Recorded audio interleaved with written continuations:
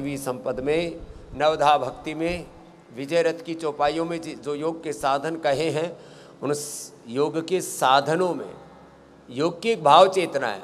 उसमें योग भाव चेतना में प्रतिष्ठित होने के लिए तीन मैंने आपको साधन बताए थे। श्रीमद भगवद गीता की सोलह अध्याय के तीन श्लोक, रामचरित मानस के नवधा भक्ति की चौपाइयाँ विजरत की चौपाइयाँ, इनमें जो साधन कहे, उन साधनों को आत्मसात करते हुए अथवा अष्टांग योग के जो यमन यवासन प्राणायाम प्रत्याहार धारणा ध्यान समाधि अष्टवंगानी अहिंसा सत्य से अपरिग्रह यमा शौच संतोष तपस्वदेश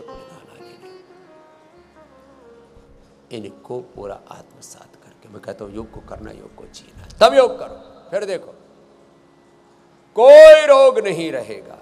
योग पूरा। आयुर्वेद आयुर्वेद की औषध, खान पान, अनुपान, पथ्यापथ्य।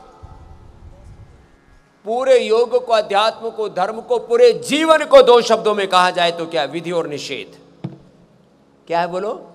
विधि और निषेध। जो करना है, वो किसी भी कीमत पर करना है। इच्छा हो या ना हो। इच्छाएँ तो ऐसी हैं, आनी जानी है। इच्छाओं का क्या भरोसा? मन की तमन्नाओं का क्या भरोसा? ये तो ऐसी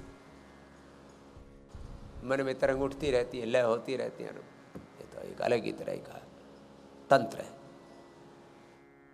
इच्छा हो या ना हो, समझ में आए या ना आए, कई बार दिमाग खराब होता है।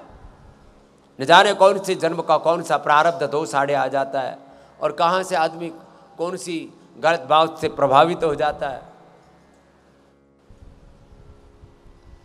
बेकार की चीज़ें। योग पूरा कर लो। आयुर्वेद आयुर्वेद का खान पान, अनुपान विधि निषेध जो उसमें पथ्या पथ्य बताए गए, उसका पूरा ध्यान कर लो। फिर जो या थेरापी बता रही इनको घर पर भी कंटिन्यू कर लेना। एक दो सप्ताह से लेकर के एक दो माह में सारे रोग खत्म।